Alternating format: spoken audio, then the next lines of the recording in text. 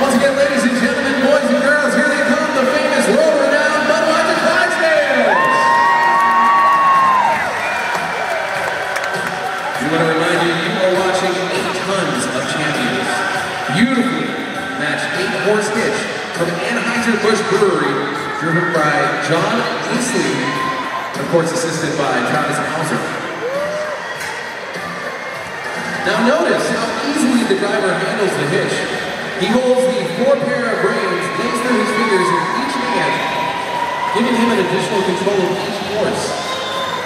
Each pair of horses in the hitch has a specific job to perform as part of the team. The front pair are called the lead team.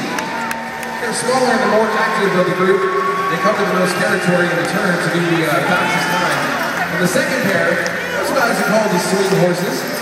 Slightly larger than the horses, but just as agile and active because of the area that they have to cover in making turns. The third pair, those are called the body horses. They again are slightly larger than the swing pair because they have to help pull more than uh, pull more of the load.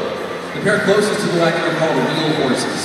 They're the largest of the four pair because they have to hold the wagon back while the uh, other horses are making the turn.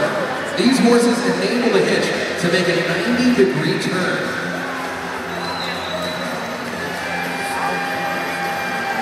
The Clydesdales are extremely intelligent, beautifully mannered, and trained to perfection.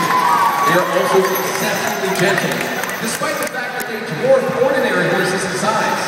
The average age of these Clydesdales is 49 years. The average height is 18 hands or 6 feet at shoulder height.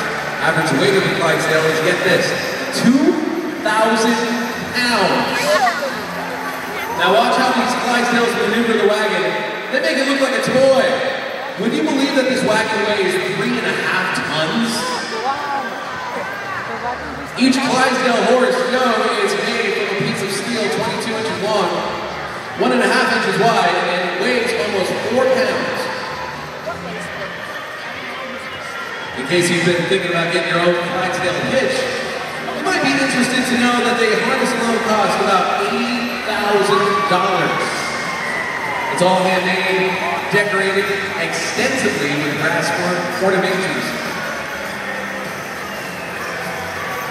And when on the road, the and Clydesdales travel as a caravan in three tractor trailers.